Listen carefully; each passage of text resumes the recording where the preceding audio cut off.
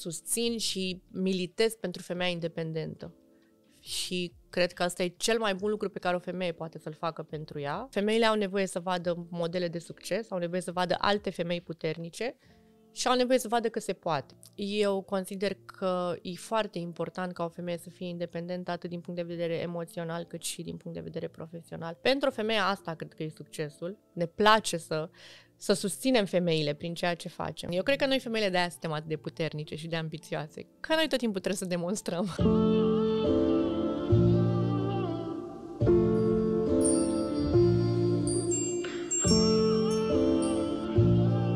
Bun găsit, dragilor! Mă bucur să fiu și astăzi alături de voi. Uh, am o întrebare cu care încep uh, interviul de astăzi. Cine nu își amintește, sau mai bine zis, cine nu fredonează cu cel mai mare drag și cea mai mare nostalgie piesa Doi Căprui?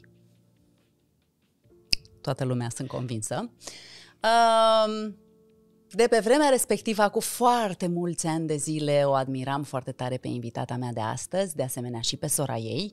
Și uite că au trecut ani, a trecut timpul, dar nu a trecut degeaba, pentru că astăzi o regăsesc o femeie în toată puterea cuvântului, deși atunci era o copilă, uh, o femeie de afaceri, o femeie de carieră, o femeie de succes, uh, o femeie extrem de sinceră, de frumoasă, de naturală, uh, o femeie pentru care viața a pregătit foarte, foarte multe lucruri frumoase, pentru că în momentul de față are unul dintre cele mai profitabile și mai de succes uh, uh, modele de franșiză care există la noi în România, un business care se întinde în vreo 36 de locații în șapte țări diferite, iar viața ei e pe drumuri, practic, între aceste locații.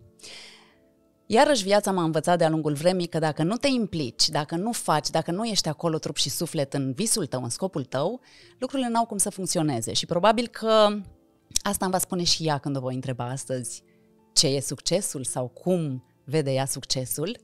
Însă la te ascult știți foarte bine că îmi place să descoperim omul din spatele succesului, îmi place să descoperim uh, femeia de milioane din spatele businessului.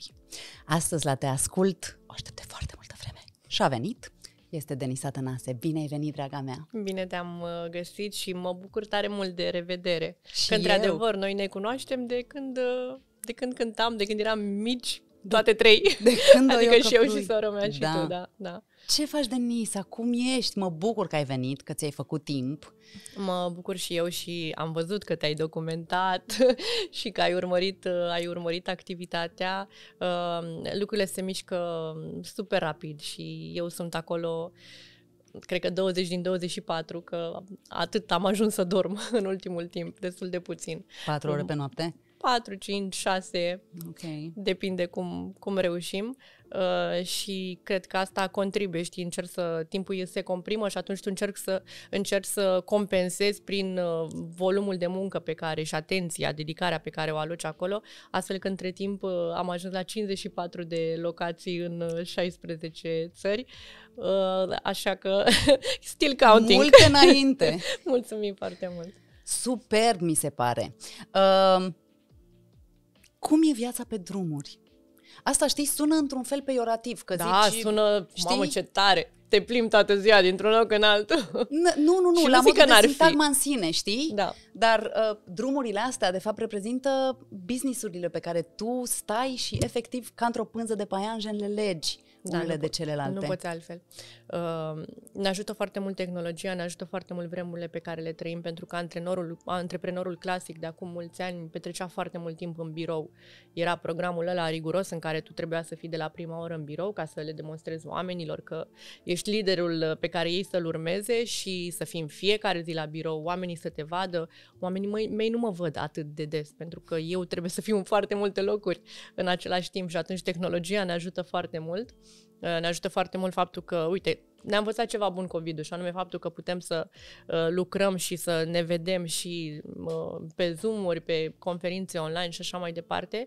Și n-ai cum să fii și om de birou și să fii și pe teren și să faci și dezvoltare, să mergi la târguri, să uh, deschizi canale noi de business, să cunoști oameni Așa că da, trebuie să fii pe drumuri. Eu sunt pe drumuri de mică, asta mă ajută pentru că am, am schimbat doar drumurile, știi? nu mai mergem cu mașina la concert, acum mergem, călătorim foarte mult cu ce e nevoie, mașină, avion și așa mai departe, pentru că acum lucrăm pe o arie mai uh, extinsă. În rest nu s-au schimbat foarte, foarte multe lucruri. Este frumos, este minunat să poți să călătorești și să poți să uh, vezi locuri, asta e partea bună Uh, aceea că trăiești viața și o simți cu adrenalină și lucrurile astea, uh, te, evident că ți-aduc bucurie și o oportunitate să nu ai o viață plată în care mhm. fiecare zi seamănă cu cealaltă. Evident, ca în orice există avantaje și dezavantaje, pentru că da, este și extrem de obositor și pentru că da, dacă ești la Paris nu înseamnă că vezi Parisul, ci înseamnă că vezi camera de hotel și te duci, ai întâlniri sau ai târguri și așa mai departe și mănânci, da, capuci și bei cafele și așa mai departe și apoi te întorci și dormi că ești foarte obosit. Uh, adică știu că sună glemuros așa de afară, în realitate um, E o viață în care te dedici foarte mult și muncești foarte mult și mintea ta e acolo. Și real vă spun că mi-am dat seama că nu ai cum să faci performanță altfel. Adică să lucrezi cu jumătăți de măsură și să te aștepți să spice ceva din cer, nu se poate. Se poate doar dacă tu ești acolo 100%, cu toată mintea ta, cu toată ființa ta, se poate doar dacă faci compromisuri, nu ai cum fără compromisuri, pentru că tu trebuie să tai din ce ești tu, din ce sunt uh, membrii familiei tale, din multe alte lucruri, că nu ai timp, nu ai cum să le și atunci cumva cred că vin niște etape în viață. Acum tragi tare în direcția asta ca niște obiective, după aia îți dai seama, e, e așa ironic, crede-mă, pentru că eu am pornit așa foarte ambițioasă și am vrut să fac lucruri și le-am făcut și am vrut mai mult și mai mult și după aia mi-am dat seama că mi-am pierdut echilibru. Eu pe balanță fiind balanțele sunt într-o căutare permanentă a echilibrului. Și am zis, stai un pic că eu, eu nu mai sunt bine eu cu mine. Eu nu mă mai odihnesc, eu încep să am probleme de sănătate, uh, mi-e dor de mama, mi-e dor de tata, când sunt lângă ei, sunt cu ochii în telefon, nu le dedic timp. Uh, parcă nu e bine nici așa. Și după aia ai în partea asta, dar îți lipsește în partea asta la altă și te gândești cum faci să construiești aici. Și e, e o provocare continuă. Asta e călătoria noastră a tuturor în viață, cred. Wow! Da, mai mult sau mai puțin, dar da, cam cred că în asta suntem, în căutarea echilibrului în general. Um, având în vedere că ești într-o permanentă mișcare și că, da, cauți să faci bine și acolo, să fii și acolo, și acolo, și acolo, peste tot, unde și când mai ai timp pentru sufletul tău? eu tot ce fac, fac pentru sufletul meu. Nu consider că îmi neglijez sufletul. Uh, pe mine mă împlinește enorm treaba asta. Eu am iubit foarte mult și muzica și mi-a plăcut foarte mult să cânt și asta am studiat de fapt, nu știu dacă am avut opțiuni, că eu de când mă știu, nu mi-aduc aminte ce. Adică cântam de la 5 ani cu sora mea, de la 7 ani am fost în școală de muzică. A fost cumva era normal să fie muzică pentru că nu știam altceva. Și da, mă bucura și îmi plăcea. Eu pasiunea pe care o simt pentru ceea ce fac acum, nu am simțit-o pentru muzică și spun asta cu foarte multă sinceritate. Împlinirea pe care o simt când sunt un, uh, în industrie, când cunosc oameni din grupuri mari, branduri, uh, îmi dau seama de potențialul uh, de dezvoltare, îmi dau seama de cât de fascinantă e industria. Eu când am fost la școala de parfumerie în, în Franța acum cred că patru ani și ceva, cred că a fost cea mai frumoasă perioadă a vieții mele. Mă pasionează cum nu, nu pot descrie. Mergeam pe holuri și simțeam arome diferite, venind din încăperi diferite, din laboratoare.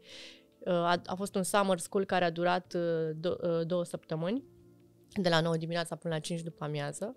Mi-ar fi plăcut să studiez mai mult în direcția asta, dar nu poți că nu-i doar despre pasiune aici, trebuie în același timp să înveți și business și trebuie să, și nu doar să înveți, ci să și operezi. și uh, mi-aduc aminte că eram în uh, primul weekend, eram cu Mircea la cumpărături, el proba ceva și eu am zis, vai, de acum mai am o săptămână se termină și am început să plâng în magazin. că nu voiam să se termine, atât de, atât de mult mi-a plăcut atât de tare mi-a plăcut, m-a fascinat efectiv toată, toată experiența. Ce tare! Deci sufletul meu e bine că fac ceva care îmi place foarte mult. Mm-hmm. Și atunci sunt, uh, sunt foarte împlinită și știi ce mă mai împlinește foarte tare? Știu că sunt pe un drum bun pentru că mă ajută foarte mult Dumnezeu și îmi dă foarte multe semne. Mi se întâmplă lucruri care n-au nicio legătură cu mine. Povestește. Sunt multe, sunt foarte multe, nici așa, niște coincidențe uneori, niște, nu știu, Uite, îți dau la întâmplare un exemplu. O să-ți dau două. Uh, când mi-au venit acum în minte amândouă. Uh, eram la birou, la birou, la masă, că în Dubai lucrez de acasă. Cred că aveam 16 ore de când nu mă ridicasem de pe scaun. Că așa fac. Adică mă pun cu cafeaua micul dejun, laptopul, prânzul comand, tot acolo sunt și dacă am timp seara, ies la plimbare, ieșim undeva în oraș să mâncăm, și era o zi din aia în care cam 16 ore nu mă ridicasem de la laptop și voiam să particip cu brandul la un târg de tax-free, cel mai mare târg de tax-free care se întâmplă în, în Cannes, o dată pe an. Am fost acum, tocmai m-am întors cu Raluca de acolo, am fost ca vizitatori, să vedem partea de networking, a fost real o experiență fabuloasă. Și uh, noi încă nu suntem în duty free-uri. Mm-hmm. Că asta îi spuneam și Raluca, eu să fac o paranteză, mă fascinează începuturile Asta îmi dau mie foarte mare adrenalină. Adică eu ceea ce am construit în România, eu retrăiesc acum pentru că uh, sunt foarte concentrată și focusată să dezvolt brandul internațional. Și am același sentiment de la început când bat la niște uși și nu mă știe nimeni și trebuie să iau de la zero. Și îmi place mult adrenalina asta și feeling-ul ăsta. Și uh, repet, noi internațional încă nu putem să susținem că suntem un brand. Asta e ce-mi doresc și acolo vreau să ajung. Și nu suntem nici în duty free-uri și trebuia să completez un formular de, de înregistrare. Uh, trebuia să scriu uh, strategiile noastre de promovare ale brandului în, în duty free-uri și așa mai departe. Nu știam exact ce să completez acolo, le-am scris colegilor mei, care de obicei sunt super prompți, chiar dacă era peste ora programului. Am contactat doi colegi, nu mi-a răspuns niciunul și până la urmă am zis hai să fac un pic de research eu ca să-l îl termin, că voiam să închid laptopul și să ies. Și am băgat pe Google, am încercat să aflu la ce se referă, ce trebuie să completez acolo și așa mai departe și am ajuns pe un site.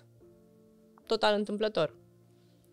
Am înțeles de pe acel site care e direcția, la ce se referă și ce tip de strategii și ce tip de, de concept trebuie să fac, ce tip de prezentare. Și apoi am zis să mă uit un pic pe site-ul ăsta să văd despre ce e vorba. Și era o firmă de consultanță din UK care chiar cu asta se ocupă, cu cu a dezvolta și cu a introduce brandurile către department store-uri, retail, retailer, distribuitori, uh, uh, travel retail și așa mai departe. Și evident că i-am contactat și evident că am semnat un contract de colaborare și um, au foarte multe conexiuni și Doamne ajută să, să ne fie de folos pe, pe drumul ăsta pe care, pe care îl vrem. Uh, și sunt multe întâmplări de genul ăsta. Adică uneori, se, efectiv, mi se întâmplă niște lucruri și știu că Îs două, două direcții de unde vin. Prima și cea mai importantă e Dumnezeu, că e acolo lângă mine și nimic nu e fără El. Și El te ajută atunci când, uh, când tu ești pe un drum drept și corect. Când tu, uh, experiențe de viață avem cu toții. Și bune și rele. E foarte important cum trecem prin ele. Eu am înțeles că pentru mine uh, iertarea, bunătatea, până la limita prostiei, dacă vrei, de multe ori. Sau până în momentul în care oamenii vin la tine și spun e prea mult, trebuie să, trebuie să ai o limită, că nu e ok, că te calcă lumea în picioare. Oamenii te pot călca în picioare, dar schimbul pe care tu îl primești de la Dumnezeu e ceva ce oamenii niciodată n-ar putea să-ți ofere. Și când tu dai de aici, lucrurile alea vin de acolo și vin de acolo într-un mod în care ți-am zis. Adică se întâmplă niște lucruri și zici, Doamne, de unde vin? Și nu-i noroc, eu nu cred în noroc. Eu cred într-un schimb. Nu la modul conștient. Îl fac că vreau să primesc asta, că probabil nu va funcționa la fel, mm-hmm. știi? Mm-hmm. Și da, deci asta în primul Dumnezeu și apoi și asta karmic, nu știu, dacă karmă, dacă vrei. Cred că asta e karmă. N-am studiat uh, uh, cuvântul atât de bine încât să știu ce înseamnă karmic, dar cred că eu despre asta e vorba fă bine și vei fi bine. Cred că, e, cred că are legătură. Da, și uite, uite, recent, la un alt eveniment, am cunoscut un CEO, femeie, uh, au câștigat ei acum la Cannes uh, premiul pentru cel mai mare retailer de beauty and health din lume. Au 16.000 de uh, puncte de vânzare în toată lumea. Wow! Uh, și am ascultat-o vorbind, nu știam. Am savurat-o. A atât de smart, a povestit niște, despre niște studii de retail pe care le-au făcut. Știau faptul că focusul clientului într-un magazin durează 8 secunde. Atât ai tu, ca retailer, timp să-l prinzi. Cred că e similar cumva și cu televizorul Da, și cu ceea cu ce siguranță. faci tu. Atât ai să-l prinzi sau să-l pierzi. Și foarte multe studii și uh, am efectiv am savurat și la, la final s-a făcut coadă, oamenii voiau să stea de vorbă cu ea, să facă poze. M-am pus și eu la coadă, că am vrut să fac o poză cu ea și uh, a venit rândul meu, eram chiar ultima la coadă și atunci am spus că m, eu că am un brand de beauty și că eu și brandul nostru milităm foarte mult pentru um, woman empowerment. Ne place să, să susținem femeile prin ceea ce facem. Pentru că femeile au nevoie să vadă modele de succes, au nevoie să vadă alte femei puternice și au nevoie să vadă că se poate. Și că și ele pot, pentru că oricine poate. Mai ales femeile. Să nu se supere domnii sau colegul tău pe mine acum. Nu, vale, liniștit. Da.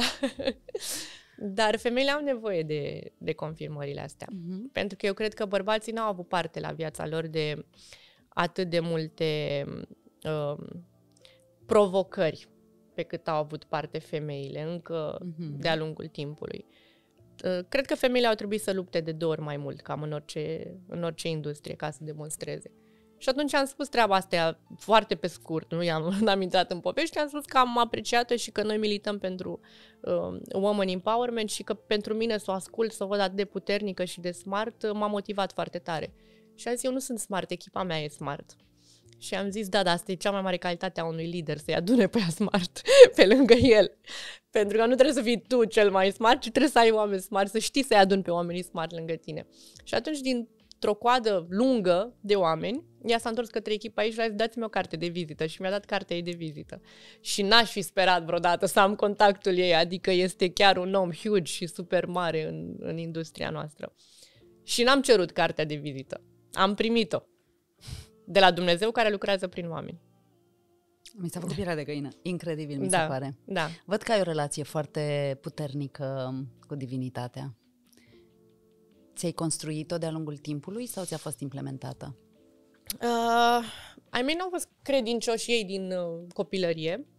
Familia noastră, cumva, la un moment dat, cred că da, ne-am îndreptat către biserică. Aveam părinte duhovnic, mergeam, ne spovedeam. Viața e așa, cu ups and downs, la fel și credința mea. Uh, acum am fost mai apropiată sau mai practicantă, dacă vrei. Apoi am avut momente în care, nu știu, poate nici nu mă mai rugam. Apoi am început să, cred că odată cu maturizarea, să văd puțin diferit, să înțeleg că, de fapt, Dumnezeu e cu noi tot timpul și că uh, nu e atât de mult în a practica asta, ci a trăi în Spiritul lui Dumnezeu. Și, uh, da, nu, cre- nu cred că e o relație constantă, cred că e o căutare permanentă. Superb. Um, știu că părinții voștri au fost super apropiați de voi și v-au susținut foarte mult în tot ceea ce ați făcut uh, în copilărie, în adolescență și mă refer la partea muzicală. Când ai hotărât să mergi pe drumul acesta, ce au zis? S-au speriat. S-au speriat foarte tare. Tata nu, tata nu prea se... Mama e mai vocală, tata nu se, ex, nu se exteriorizează, nu se exprimă atât de mult. Și uh, el e balanță ca mine, e echilibrat, adică nu poate nu spune întotdeauna tot ce gândește. Uh, și clar nu se impune la modul... Dar mama a încercat să mă influențeze, mama s-a speriat foarte tare și a zis cum... Mai ales că eu la început nu aveam angajați. E 8 luni de zile, am funcționat singură și făceam singură absolut totul. După 8 luni am angajat un om care într-adevăr a mai suplinit din ceea ce făceam, dar în continuare trebuia să fac foarte multe lucruri, inclusiv stăteam la vânzare în insula din Promenada. Și mamei îi se părea că e un regres pentru mine. Și îmi spunea, păi cum, tu ești artist, ai cântat, ești persoană publică, ai cântat toată viața, tu ce faci acum? Faci colete toată ziua? Asta făceam. Și stai la vânzare? Ești uh, Vânzător. beauty advisor, ești vânzător? Dar um, cred că după un an, un an, nici sora mea n-a fost de acord la început, nu înțelegea nici ea și era lângă mine că No, era sora mea, n-avea cum să nu fie lângă mine, m-a ajutat cu promovarea, mergeam împreună la emisiuni să promovăm brandul, dar nu era convinsă nici ea. Și cam după un an și jumătate, cred, și-au dat seama că, că e o direcție bună și evident că au fost uh, și sunt în continuare Olin alături de mine. Raluca e foarte fericită și ea pentru această descoperire, pentru că am luat-o lângă mine. Um, chiar după ce a terminat Bravo I Still, a fost Știu momentul bine, în care, da, da. da, în care ea a făcut trecerea de la televiziune și muzică spre business. Am luat-o cu forța la început și uh, îți spun sincer că o luam cu mine la întâlniri și plângea după ce terminam întâlnirile. Și spunea, nu înțeleg ce vorbiți, nu-mi place, nu, eu sunt artist, eu fac altceva. Și spunea, liniștește că nu trebuie să înțelegi, vină cu mine o perioadă, hai să vezi cum e, hai să... Și acum îmi mulțumește, întotdeauna e fascinată și îi place foarte mult și s-a regăsit. Știi ce este diferit și cred că e ceea ce îmi place cel mai mult la antreprenoriat. Uh, în fiecare zi înveți ceva. Uh-huh. În fiecare zi ai de rezolvat situații, în fiecare zi trebuie să iei decizii și în fiecare zi tu mai pui acolo ceva în... O cărămidă. Da. Înveți lucruri. Eu în muzică nu pot să spun că învățam ceva în fiecare zi, adică evoluția nu, nu se compară. Uh-huh. Aici trebuie să învăț că vreau să evoluez din toate punctele de vedere, trebuie să învăț și din lucruri specifice industriei din care fac parte, trebuie să învăț și, nu știu, formule, ingrediente, trenduri, adică și partea asta Uh, de uh, R&D, de uh, cercetare și dezvoltare, creare produs, trebuie să învăț și partea de business, sisteme de operare, logistic și financiar și tot ce implică. Și atunci tu te împingi pe tine continuu să înveți. Vrei să citești și cărți, să studiezi și de acolo și automat ești, ești într-o evoluție continuă și mie evoluția asta îmi place cel mai mult. Îți forsezi limitele, da. ești din zona ta de confort în permanență. Da, ești într-o, ești într-o continuă căutare și dorință de a evolua și chiar dacă nu ai fi tu, atâta timp cât ai apăsat butonul uh, start, ești forțat uh-huh. să acumulezi. Uh-huh. Că în fiecare zi, nu știu, te vezi cu cineva și ai o discuție și înveți ceva din discuția uh-huh. aia. Pleci și deja mai știi o informație în plus față de ce știai în dimineața respectivă. Apropo de Raluca, și eu am o soră. Um, a existat rivalitate vreodată între voi? Nu, rivalitate nu. Nu, e, e foarte mult spus. A fost o perioadă în care, asta de care îți povesteam, în care nu vedeam la fel. Și a fost ciudat că noi până atunci vedeam la fel, cumva, adică în muzică, în tot ce am făcut, știam foarte bine care e partea mea, care e partea ta, cu ce vine fiecare în parteneriatul ăsta. Mm-hmm. Uh, dar a existat perioada asta în care vedeam lucrurile diferit, da um, întreb tocmai pentru că țin minte că a fost perioada de Bravo în care ea s-a implicat foarte tare și era acolo trup și suflet și am stat de vorbă cu ea la un moment dat și fix asta mi-a zis. Cred că o să o apuc pe partea asta. Nu știu dacă e bine, nu știu dacă mă pricep, mi-e frică, dar uh, o să încerc să văd, sau ceva de genul mi-a zis uh, în direcția asta și în egală măsură știu că de obicei între frați există această competitivitate. Iar în momentul în care tu ai prins aripi și ai început să dezvolți treaba asta foarte mult, uh, de aici mi-a venit întrebarea. Aici am stat să mă gândesc, dar oare Raluca ce a simțit? Unde cred că din nou tu și faptul că știi vorba ta cum să ții echipa aproape, uite cum să o atragi pe sora ta lângă tine, dar cu blândețe, cu toleranță și cu înțelegere a contat foarte mult și astăzi faceți o echipă extraordinară. Și te felicit pentru asta. Îți mulțumesc. Cum ești ca șefă, Denisa? Nu sunt șefă. N-am... nu sunt șefă și niciodată o să mm, observ că eu nu prea folosesc, adică nu prea, Cred că deloc, dar am învățat treaba asta să nu generalizezi, știi, să lași tot timpul o ușiță. Da, uh-huh. eu nu folosesc cuvântul angajați.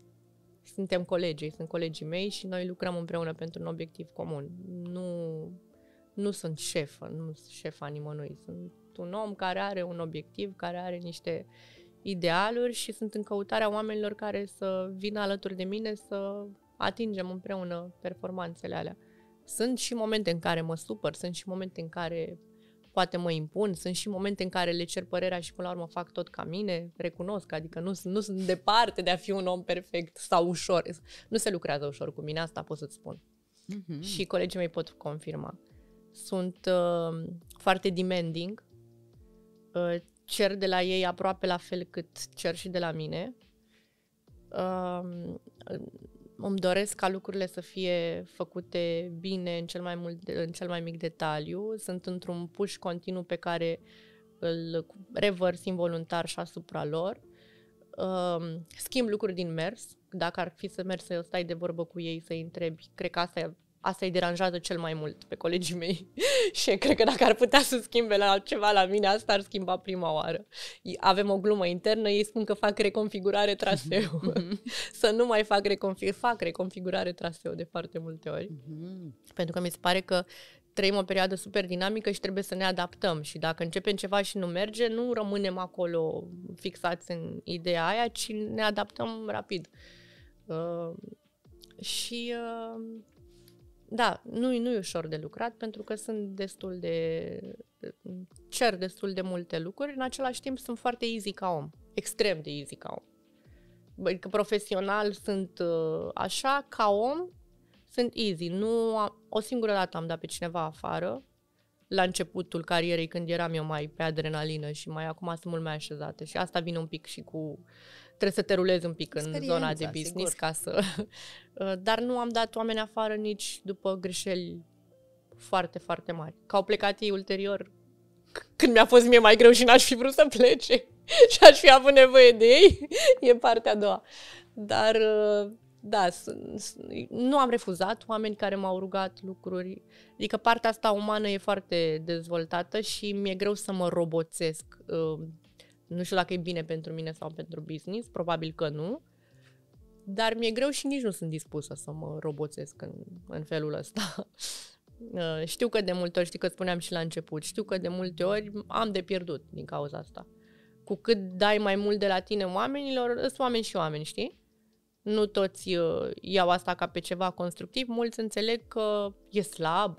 E loc de. Că e loc de, și uh, sunt persoane care profită. Dar m-am gândit de multe ori, știi, că am stat eu de vorbă cu mine. Și mă bă, dar oare n-ar trebui să mă schimb un pic, să fiu mai bici, așa, mai, să mă impun, să nu mai accept, să... Și după aia m-am gândit, asta înseamnă să devin mai rea, mai... Nu aș vrea să mă încarc eu cu emoțiile alea. Nu prea e despre... E o alegere, știi? Și atunci ce contează mai mult pentru mine? Să mă schimb eu sau să fiu eu zen și să fiu eu ok? Sau să mă transform? Nu, în direcția aia eu nu prea sunt dispusă să mă transform. Și o să spun un lucru ciudat. Știi că se spune că lumea asta a business-ului te face mai rău, mai tăios, mm-hmm. mai... Eu cred că pe mine m-a umanizat mai mult. Eu simt că eu cu cât am uh, obținut mai mult, cu atât am devenit mai, mai bună. Nu sunt Maria Tereza, am foarte multe defecte. Dar simt că am evoluat spiritual în egală măsură. Și e ciudat un pic, pentru că în mod normal e un mediu în care trebuie să te înrăiești un pic. Am învățat să fiu directă, am învățat să mă exprim, să spun lucruri care poate nu sună foarte bine. Eu înainte nu știam să spun nu și nu puteam să spun în față lucruri pe care știam că dacă ți le spun nu o să-ți pice bine. Acum am învățat, a trebuit să le învăț pentru că uh, am somatizat uh, într-o boală fizică treaba asta. Și atunci asta a fost, uite, anul ăsta a fost pentru mine lecția de a învăța să deschid gura, să vorbesc. Și mi-a prins foarte bine. Și a venit la pachet și cu vindecarea. Ce frumos! Da. Deci să înțeleg că ai trecut de perioada asta de, uh, cum să o numesc, uh, șubrezire fizică, ca să nu o zic boală, că nu-mi place cuvântul în sine, accesând tot felul de terapii, poate, tot felul de informații de genul ăsta? Uh, conștientizând. N-am accesat terapii. Mm-hmm. Aș, aș fi tentată să spun, n-am avut timp. Dar uh, eu cred că cea mai importantă e conștientizarea, pentru că și la terapie tot de asta mergi, ca să te ajute cineva să conștientizezi niște lucruri și atunci dacă poți să scurtezi drumul, e foarte, e foarte important. Uh, da, la mine au fost niște ani nebuni în care nu m-am gândit la mine. Mama, încă de când lucram eu din mansardă, că așa am început, la Mircea, la Fit for You în Dorobanți, avea o mansardă pe care nu o foloseau și eu de acolo făceam coletele despre care îți povesteam. Și m-a întrebat înainte să începem uh, interviul, când eram noi două așa și ne, ne pregăteam, dacă am vizualizat chestia asta sau dacă am proiectat-o vreodată. Și să știi că atunci, da, în momentul în care împachetam colete, a trecut așa prin mine o o vibrație și un gând că ăsta ar putea să fie ceva mare și că eu lucrez acum la ceva ce ar putea să fie mare și uh, sunt foarte fani începuturile alea și eu mi-aduc aminte cu drag de ele pentru că făceam tot ce se poate face de la dat cu mătura cărat, căram cutiile de marfă cu marfă în mansardă, lucram în papuci din aia de hotel, că mă dureau picioarele, stăteam foarte mult împreună, Um, pregăteam singură produsele, comenzile, importurile, mă duceam cu mașina mea la aeroport să iau marfa, gândește-te de la A la Z, totul făceam singură și am făcut asta până am deschis prima franciză, eram tot eu singură.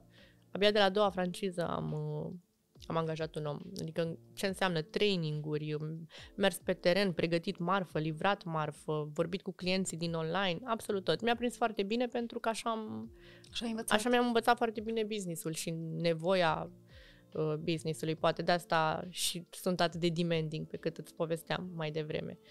Uh, și atunci, evident că mama mă suna tot timpul pe la 12, 1, 2, când se făcea foarte târziu ca orice mamă grijulie, mă seamă de Nisa, toți te îmbolnăvești, muncești prea mult, nu e ok, vino acasă, mai dorme, odihnește. De la un moment dat intrasem într-o stare în care eu nu mai conștientizam oboseala. Mie mi se părea că eu nu sunt obosită, eu, eu sunt fresh.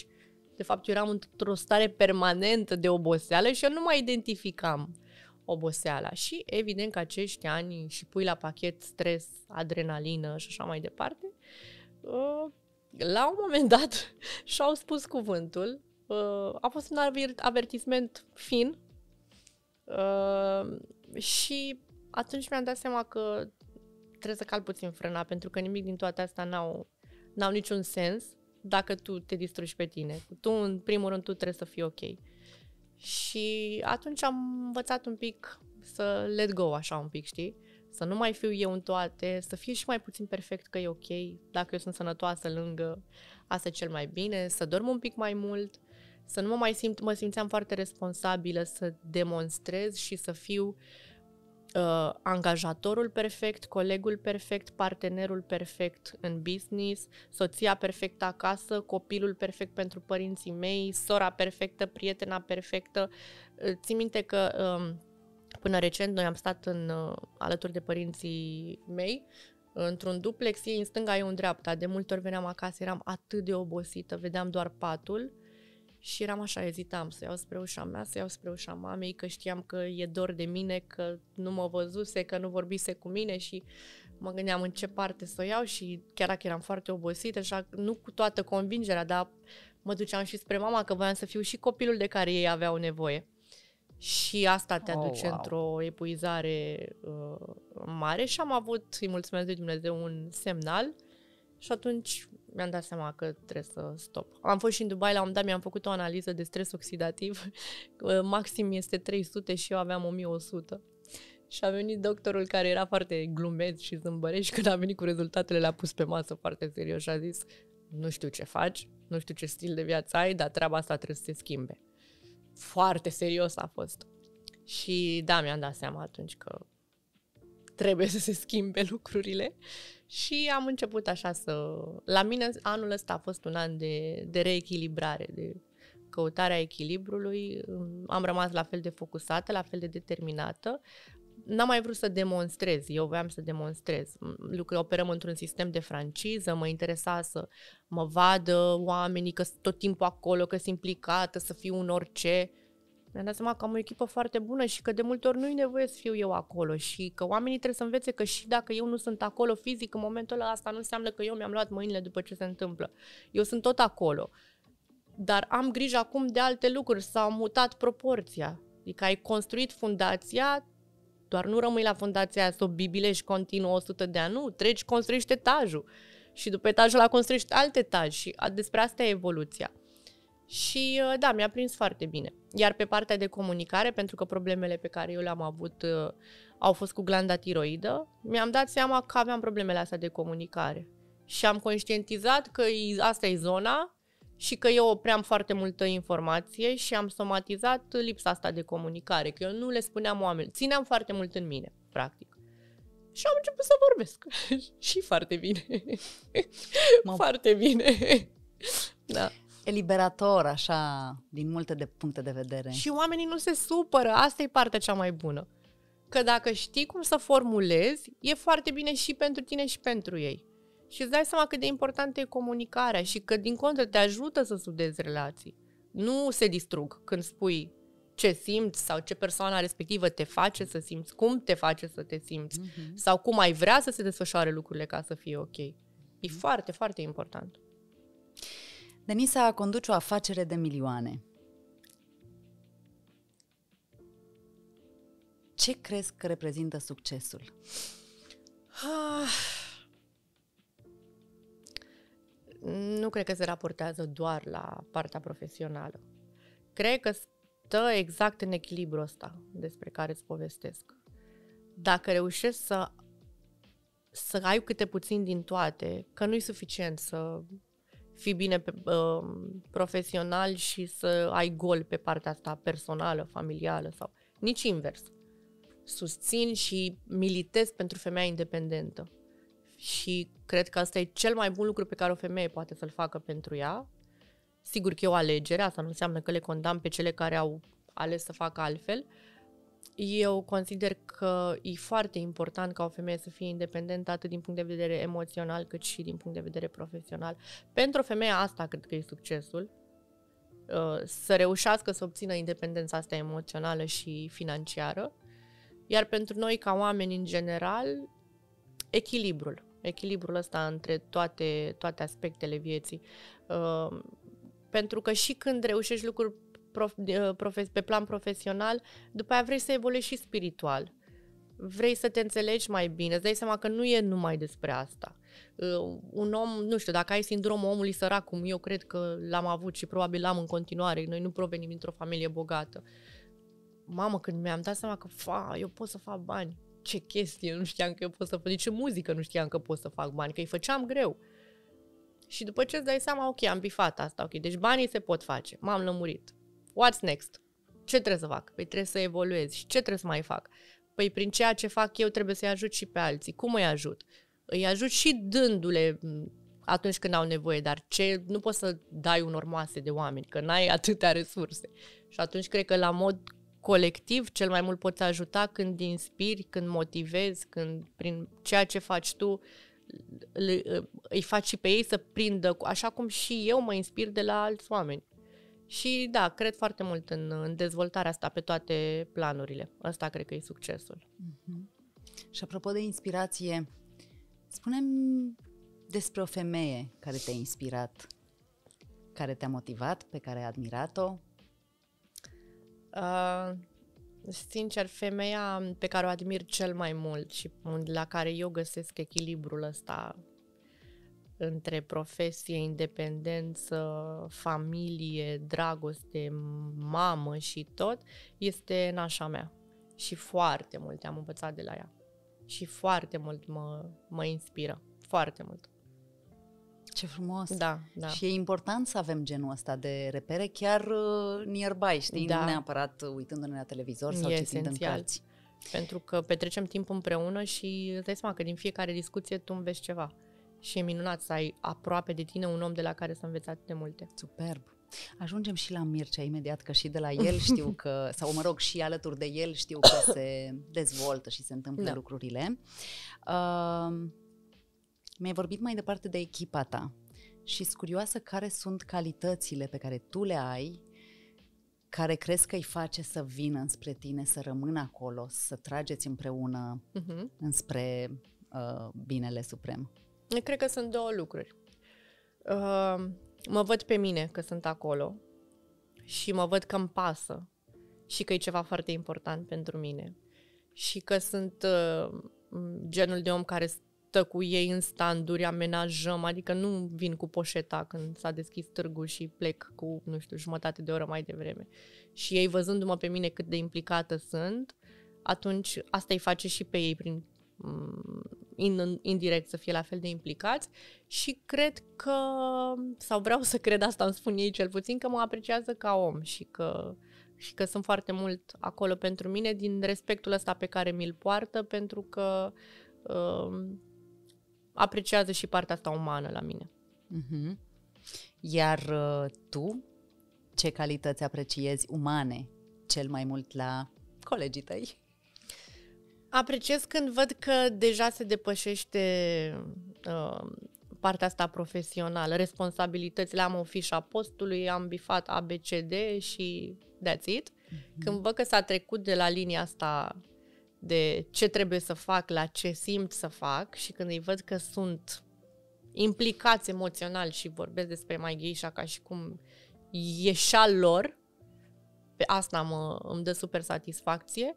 Nu caut oameni perfecți pentru că nici eu nu sunt perfecte și nu cred în perfecțiune de niciun fel, în niciun aspect al vieții noastre. Uh, și nu o caut. Uh, Așa că pentru mine e cel mai important să-i văd că sunt emoțional implicați și să fie corecți. Corectitudinea e foarte importantă. Nu-mi place să fiu mințită, nu-mi place să mi se ascundă lucruri, nu-mi place să fiu subestimată, pentru că sunt femeie și sunt oarecum, hai zicem, tânără în zona asta antreprenorială și atunci de foarte multe ori am fost și pot fi subestimată și asta nu-mi place că dacă eu sunt așa, sunt pentru că e o alegere nu mm-hmm. pentru că n-aș putea să fiu altfel sau pentru că n-aș ști să fiu altfel. Astea sunt lucrurile care mă deranjează.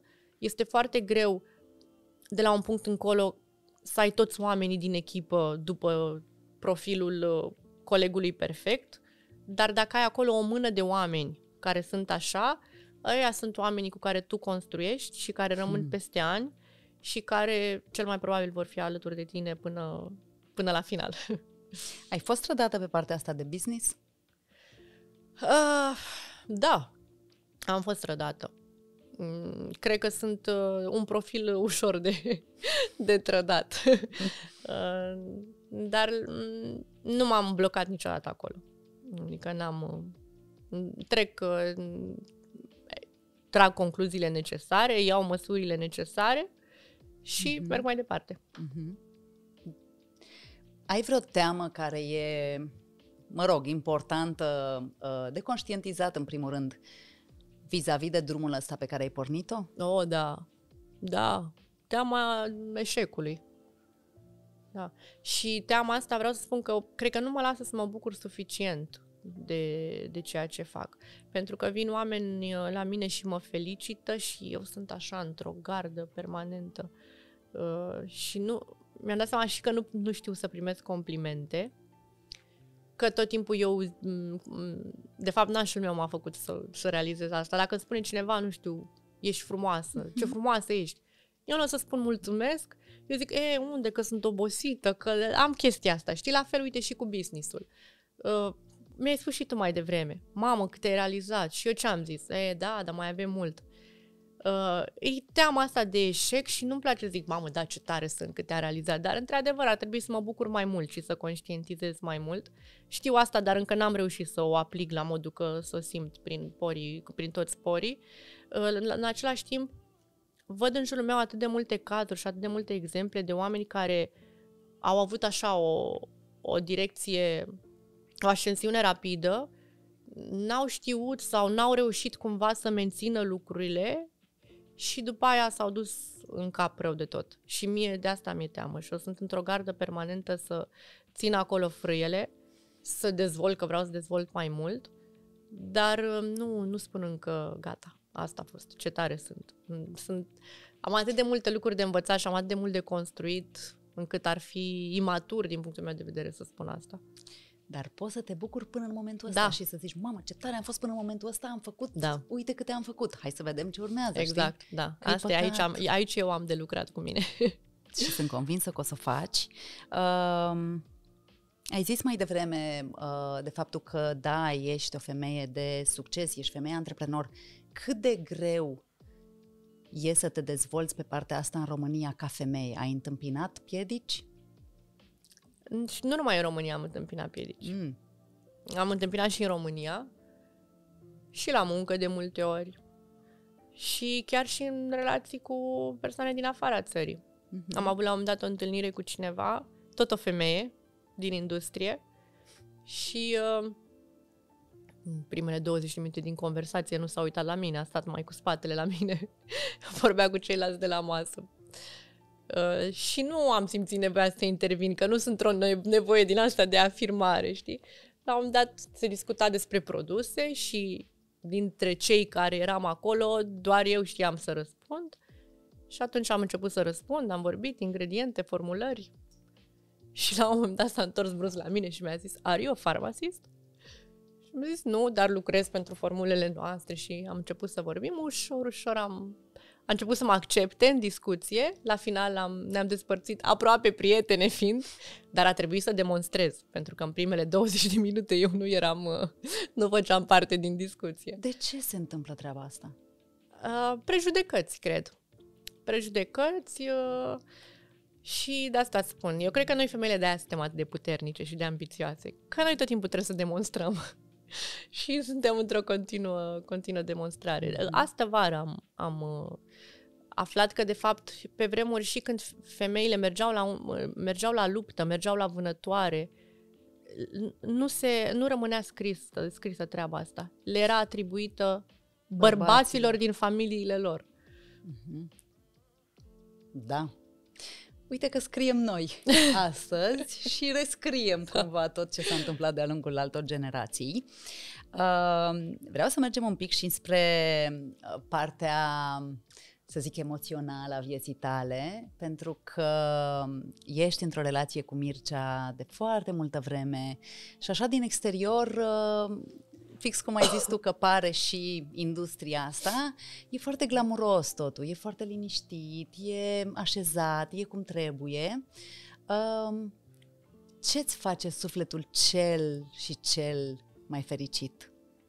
De șase ani cred că facem acum în noiembrie, liniștea. Mm-hmm. E foarte importantă pentru, pentru mine. Uh, mai mult decât orice. Mai mult decât uh, fluturi în stomac, mai mult decât uh, orice, pentru mine liniștea e cea mai importantă. Și să am liniștea ca eu să mă simt bine și să fiu ok psihic, pentru că sunt o persoană emoțională și vulnerabilă și dacă n-aș avea-o, n-aș putea să mă concentrez pe celelalte lucruri. Realizez acum că am formulat-o puțin condiționat, dar liniștea e foarte importantă pentru mine. Mm-hmm. Cât de tare te-a ajutat Mircea în tot procesul ăsta prin care tu ai trecut? A fost minunată întâlnirea noastră, a fost minunată întâmplarea, ca să zic așa, pentru că ne-am ajutat foarte mult reciproc. Uh, sigur că legat și de ce vorbeam mai devreme, întotdeauna de afară poate o să pară că femeia a fost cea ajutată și că uh, i s-au aliniat astrele la un moment dat. În realitate, noi ne-am ajutat foarte mult unul pe celălalt. Noi când ne-am cunoscut nu eram niciunul într-o fază bună a vieții din punct de vedere profesional și financiar. Chiar dacă eu eram artist, eram cunoscută în toată țara, asta nu îmi garanta și o stabilitate uh, financiară, pentru că în România, nu știu, nu merg pe degete artiștii care într-adevăr uh, fac averi din muzică sau câștigă mm-hmm. atât de bine. Majoritatea artiștilor din România trăiesc de la un concert la altul, la o perioadă în care vara se câștigă bine, dar trebuie să ții de bani aia că din ianuarie până, nu știu, martie, aprilie nu mai produci nimic pe vremea noastră, când cântam noi, nu era nici moda asta cu influencerii, nu se făceau bani din contracte de imagine, Instagram și atunci ne bazam doar pe concerte, reinvesteam în piese, în clipuri și așa mai departe. Pe scurt, când l-am uh, întâlnit pe Mircea, nu eram deloc într-o perioadă bună financiar și profesional, eram într-un struggle permanent, mă luptam să fac lucrurile să meargă. El la fel avea într-adevăr Fit for You, dar este un business pe care l-a, l-a început de la zero, uh, împrumuturi, uh, rate, uh, chirii, angajați, uh, că ai un business nu înseamnă, și am spus întotdeauna, că și articolele astea de pe net cu milioanele mm-hmm. și mhm. cu investițiile și cu banii firmei nu sunt banii noștri. Cifra de afacere a firmei nu reflectă banii noștri din buzunar. Uh, mergând mai departe, investițiile pe care le facem, le facem tocmai pentru că vrem peste niște ani să fim liniștiți, să investim în niște aseturi care să producă pentru noi, să ne vină niște bani, niște chirii și așa mai departe. Asta înseamnă că investind acolo nu ne mai rămâne foarte mult nouă pentru nu știu ce extravaganțe și așa mai departe. Uh, de asta um, um, aparența nu e întotdeauna uh, aceeași cu esența și cu ce se întâmplă. Iar eu când l-am cunoscut pe Mircea, ca să mă întorc la, la idee, eram amândoi, uh, cum să zic, ne-am ridicat unul pe celălalt. Smart amândoi, uh, într-adevăr, el, el mi-a deschis mie ochii spre zona asta antreprenorială la care nu m-aș fi gândit niciodată, pentru că eram artist, eram în muzică. El a venit inclusiv în zona de muzică și mi-a pus niște întrebări super pertinente, dar n-aveți site, dar unde vă găsește lumea, dar eu nu știam că nu gândisem niciodată cariera mea muzicală, din, nu, nu îi pusesem, nu abordasem așa antreprenorial. Și uh, am fost foarte deschisă și am fost ca un burete și am absorbit în, uh, informația și am învățat foarte repede. Și ne-am dus amândoi pe teren și am tras împreună și tot ce am făcut, am făcut împreună. Ne-am ridicat foarte mult unul pe celălalt, ne-am susținut. Uh, când a avut unul un business, chiar dacă celălalt n-a crezut în el, a fost acolo lângă el. M-a ajutat foarte mult la început, pentru că nu știam ce am de făcut, dar m-a lăsat și foarte mult singură. Să, adică de la prima comandă deja el uh, mi-a zis așa în mare cam ce trebuie să fac și am rămas eu cu furnizorul și am zis, ok, acum trebuie să fac un import.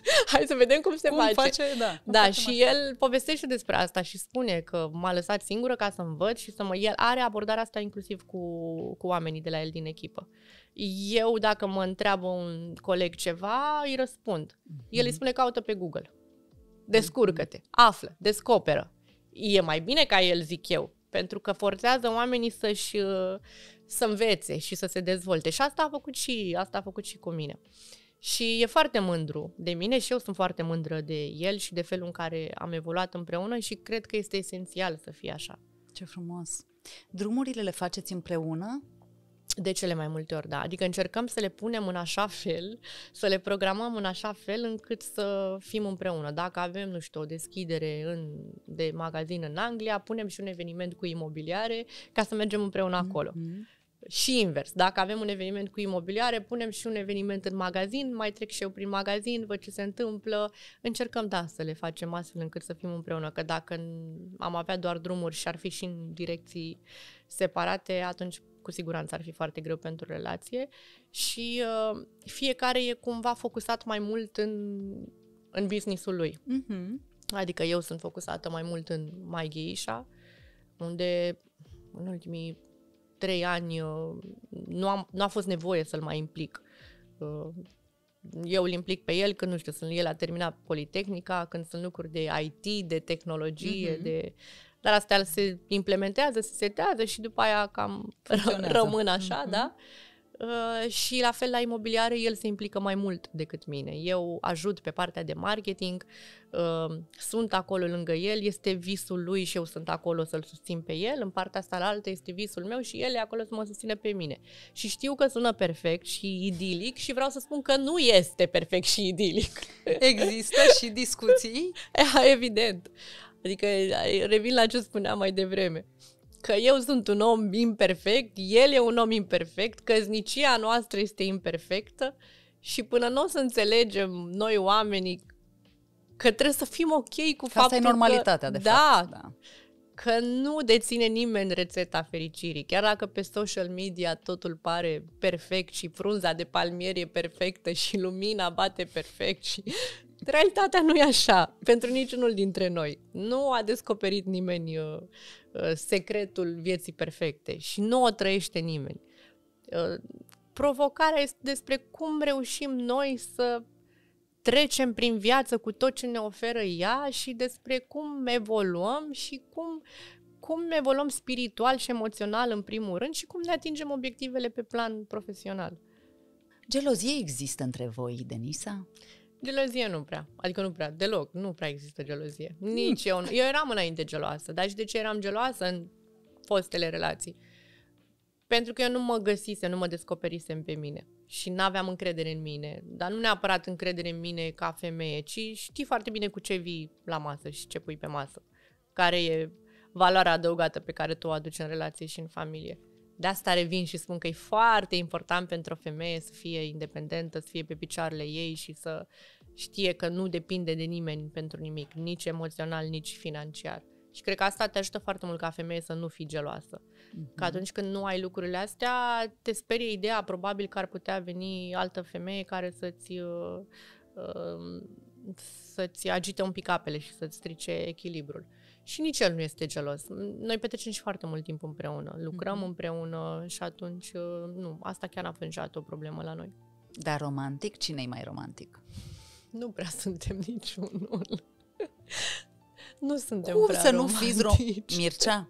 Eu mă știu cu Mircea de mult, Da, da, de bravo, mult, da. de mult. De când era la surprize, surprize uh, cu Andreea Marin. Da. La un moment dat am ajuns și eu în public la surprize, surprize, când eram mică, mică, mică, mă rog, fără 18 ani. Uh, și nu știu, printr-o prietenă comună, cumva l-am cunoscut pe Mircea, de atunci îl știu. Măi, Mircea, cum să nu fii romantic? cu te eu acum ștergeți ca o bunicuță? Da, nu pot să spun, adică am, am trăit și etapele astea din viață, nu știu dacă sunt specifice unei vârste anume, cu bă, Romantism, surprize, nu? Ah. romantism, dar nu știu la ce te referi tu când zici romantică, eu mă gândesc la, nu știu, petale de flori, uh, Da, în camera de hotel. Mm, Nu, nu, nu mai avem din astea și nici nu știu dacă mm, ar fi ceva care să mă bucure pe mine sau pe el în mod special. Uh, Cred că am trecut un pic în, în zona aia de iubire necondiționată și... Uh, Oh, wow. Asta e mare, ăsta e mare lucru. cred, că, cred că e un pic o altă etapă. E un alt fel de dragoste, e o altfel de dragoste cea pe care o trăiesc acum față de cea pe care am trăit-o la 20 ceva de ani. Mhm. Ce vă ține împreună pe voi doi? Ce vă... Care sunt calitățile pe care le aveți în comun sau subiectele sau pasiunile? Păi, uh, evident că ce ne ține împreună e dragostea, că asta trebuie să ne țină împreună și uh, toate celelalte pot exista și pot coexista și dacă nu suntem un cuplu, adică dacă ne uh, raportăm la partea profesională, pot să fii partener, colaborator, nu trebuie neapărat să formezi un cuplu. Într-adevăr, m, dorința asta comună de evoluție pe noi ne-a unit și faptul că am tras împreună și am construit împreună. Uh, Dar asta nu înseamnă că am neglijat uh, partea mă, sentimentală a relației noastre. Asta ne ține împreună. Mm, Eu sunt foarte liniștită și îmi place că sunt eu în relația asta. Uh, Pentru că mi-aduc aminte din uh, anii trecuți, nu eram eu, făceam lucruri ca să fie făcute sau pentru că dădeau bine sau pentru că voiam să cuceresc sau pentru că voiam să mențin. Um, acum sunt liniștită pentru că știu că sunt eu și că nu trebuie să forțez lucrurile niciun fel. E vorba de acceptare uh, reciprocă și tu cu tine și cred că lucrurile astea, liniștea asta, așezarea asta pentru mine e, e foarte importantă. Uh-huh. Uh, au fost momente în care, nu știu, v-ați uh, certat atât de tare încât v-ați gândit, gata, până aici a fost, lăsăm baltă tot, mergem pe drumuri separate? Mm-mm. N-ați ajuns Nu. acolo. Până acum nu. Uh-huh. Nu. Și vă doresc să nici n-ajunge. Doamne ajută! Eu Uh. știu un lucru, eu știu că viața e cu ups and downs pentru toată lumea. Mhm. Și am văzut cazuri, uh, Ilinca, în care vieți uh, fabuloase și superbe, uh, seara când puneai capul pe pernă, dimineața când te trezeai, peste noapte se întâmpla ceva și viața se schimba la 180 de grade. Eu sunt foarte conștientă de lucrurile astea, atât pe plan profesional, mm-hmm. cât Mhm. povesteam mai devreme, cât și pe plan personal. Eu știu că viața nu e numai despre momente bune și căsnicia nu e numai despre momente bune. Știi că se spune că sunt uh, trei uh, feluri prin care te poți mântui. Uh, Mucenicia, călugăria și căsnicia. Nu o fie așa de ușoară, știi? Uh, Dar trebuie să înțelegem că e o călătorie și, eu, și trebuie să înțelegem că nu e normal și nu e ok să ne fie bine tot timpul. Așa că eu nu sunt, mie mi-e frică de vorbele astea mari. Uh, De genul, da, suntem bine și o să fim tot timpul. Sau, da, am un business de succes și o să fie tot timpul un business de succes. Mă bucur de prezent și încerc să fac tot ce ține de mine ca să nu doar să păstrez ce am, ci să dezvolt. Mm-hmm. Dar ce lecții o avea eu de învățat în călătoria asta mea pe pământ, eu nu pot să știu. Pot doar să mă rog și să sper că întotdeauna voi fi pregătită pentru ele și că voi trage lecțiile necesare și cele care mă vor ajuta din tot ceea ce mi se va întâmpla. Mm-hmm. Copii vă doriți? Da, foarte mult. foarte mult. E probabil dorința cea mai mare în momentul ăsta. Mm, știi că în mod normal se zice așa, că tu ai zis că acum de un an ești uh, pe relaxare un pic și așa. Încerc să fiu pe relax, sunt mai pe relaxare. Trebuie să vină relaxarea da, ca să știu. poată să vină și bebelușul. Ți-ai dorit da. fetiță sau băiat? Mm, nu, n-aș mai alege. N-ar mai conta. Nu, nu, chiar n-ar conta. Uh-huh. Băieții sunt mai apropiați de mame, fetițele sunt mai apropiați de tați, deci... Oricum ar fi, copiii, copiii sunt o binecuvântare și m- mm, probabil că misiunea pe pământ nu e completă dacă, dacă ei ar lipsi din uh, tablou. Nu de asta mi doresc, pentru că vreau să desenez un tablou perfect, ci pentru că eu cred că aș fi uh, ca și foarte bună ca mamă și pentru că îmi doresc să văd cum e sentimentul ăsta de mamă, știu de la mama care uh, e o mamă extraordinară și știu de la ea că e cel mai frumos și cel mai puternic sentiment pe care poți să-l trăiești și că nimic nu se compară cu asta și spun sincer că vreau și eu să văd cum e. Îmi doresc să simt sentimentul și ăsta. Și doresc și eu din tot sufletul, dar Dumnezeu le așează atunci cu când siguranță. trebuie și cum trebuie. Cu siguranță. Uh, Denisa, aș vrea să te rog așa, dacă ai un sfat dacă ai uh, un secret pentru toate femeile care își doresc, uite, să înceapă într-o mansardă, să împacheteze cutii cu colete, să le trimită și să gândească cum ar putea să facă un business mare, să-și transforme visul în realitate și să le fie așa cum trebuie să le fie, care ar fi gândul, care ar fi secretul, care ar fi uh, cuvintele pe care le-ai spune? În primul rând să îndrăznească și să înceapă. Mm-hmm. Că nu e suficient să-ți dorești, nu e suficient să te gândești cum ai face, să le povestești și celorlalți despre ce idee genială ai și cum ai face tu treaba asta. Și nici să aștepți momentul perfect pentru ideea de business perfectă, produsul perfect, serviciul perfect, acum depinde în ce domeniu, ca să încep după ce... Se așează toate. da. Mm-hmm pentru că nu va fi niciodată perfect și asta înseamnă doar că nu vei începe niciodată. Deci cel mai important este startul. Dacă vrei să faci, încep mâine. Nu ești pregătit, nu contează. Începi așa cum e, că le reglezi tu pe parcurs. E foarte important primul pas. Degeaba ai idei, degeaba vrei să faci dacă nu ai inițiativă. Deci primul pas ăsta este. E foarte important să fie ceva care să te reprezinte, în care să te regăsești și care să-ți placă. Uh, nu să faci ceva pentru că e în trend, pentru că ai văzut că altcineva a făcut și a reușit. Uh, și noi avem lecții în care am mhm. investit în anumite linii de business pentru că erau la modă, pentru că alții făceau bani din treaba asta, noi, n-am, noi am pierdut, n-am făcut. Adică e, trebuie să, să fii un pic și despre tine acolo și să fii dispus să muncești foarte mult, pentru că altfel e greu. Și e foarte, foarte importantă mentalitatea. Uh, am fost în, uh, acum câteva luni la uh, un seminar de-a lui Tony Robbins în Birmingham. De, wow. Apropo, are și la anul în uh, septembrie în Germania. Așa că dacă vreți, luați Ia să căutăm bilet. un pic. Mm-hmm. Noi o să fim acolo cu siguranță. Și au fost uh, trei zile super intense, ca emoție și, din to- și inclusiv ca informație din punct de vedere business și povestea un uh, speaker de pe scenă uh, Uh, despre cum doi antreprenori din uh, Seattle au uh, doi patroni de restaurante, cum s-au comportat ei în, în pandemie. Două restaurante vechi, funcționau de foarte mult timp, cele mai celebre restaurante din oraș.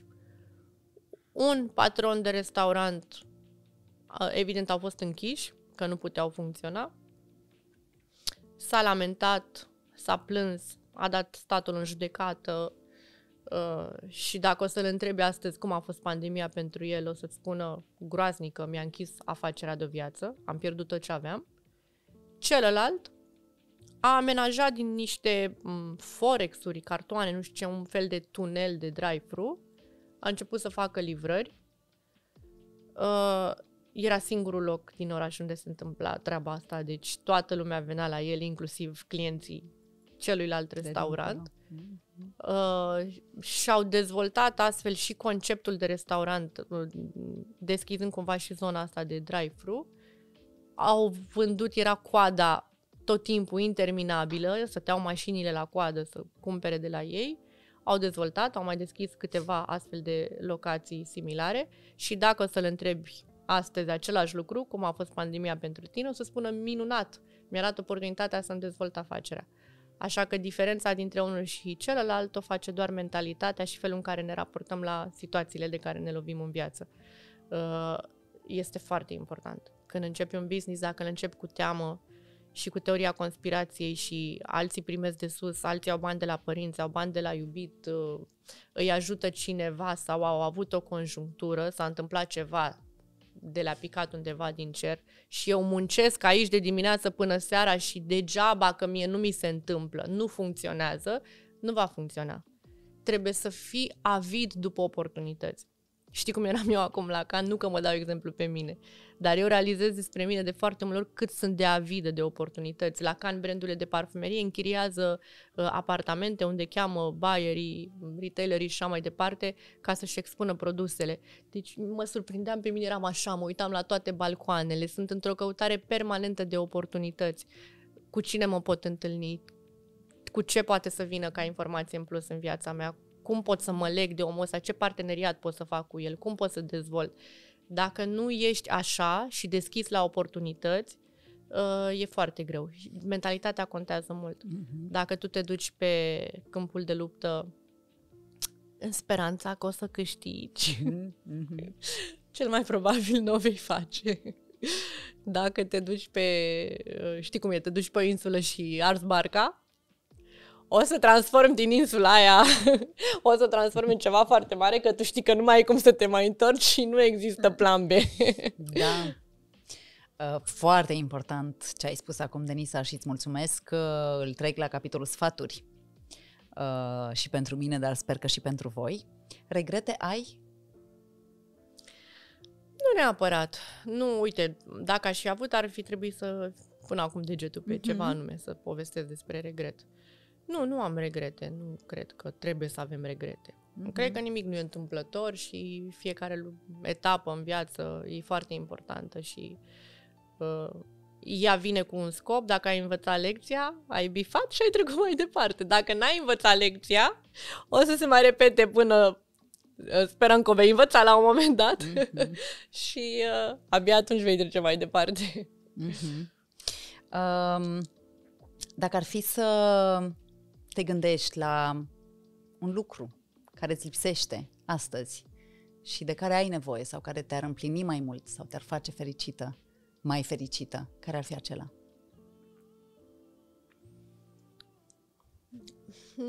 Mi-ar fi greu să exprim asta pentru că, uite, aș fi tentată să spun îmi lipsește mai mult timp pentru mine. De ce nu mi-l ofer? Adică pe cine dau vina? uh, îmi lipsește o mai bună organizare a mea. Asta îmi lipsește. Mm. da. O baghetă magică n-am. Nu, nici eu. Da. Deci tot trebuie să mă întorc la mine. Tot de tine Trebuie ține. să mă organizez eu mai bine. Trebuie să-mi planific lucrurile astfel încât să, uh, să fiu mai eficientă atunci când lucrez, astfel încât să-mi rămână mai mult timp uh, pentru mm. viața mea personală, să nu mai aleg să iau telefonul în mână dimineața când mă trezesc și să-mi aloc, nu știu, 15-20 de minute pentru mine, pentru gândurile mele, pentru ceea, pentru recunoștințe pe care le fac și nu le fac așa. Depinde cum, când îmi aduc aminte, mm-hmm. când îmi aloc timp pentru asta. Uh, deci da, o organizare mai bună din partea mea. Asta îmi lipsește. Ești o inspirație, Denisa, și tare fericită sunt că ți-ai făcut timp, că ai venit și că ne-ai împărtășit așa din tot ceea ce trăiești și din tot ceea ce ai construit în atâția ani de zile.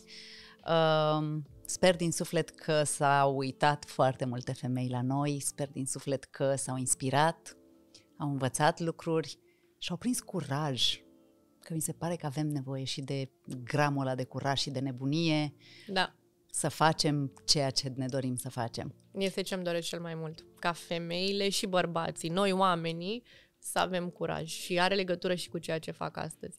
Pentru că încă dinainte de a lansa brandul de parfumerie, când semnam un contract sau aveam ceva important, mă dădeam cu parfum și simțeam că îmi dă încredere în mine.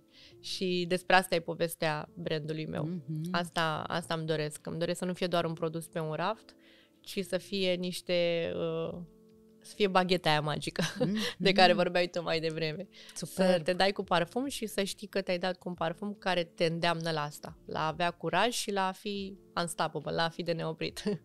Superb! Încă o dată îți mulțumesc, Denisa, și închei cu cuvintele astea, că nu mai am nimic de adăugat. Vă pup, vă mulțumesc că ați fost alături de noi și ne revedem și săptămâna viitoare, tot aici la Te Ascult. Seară bună!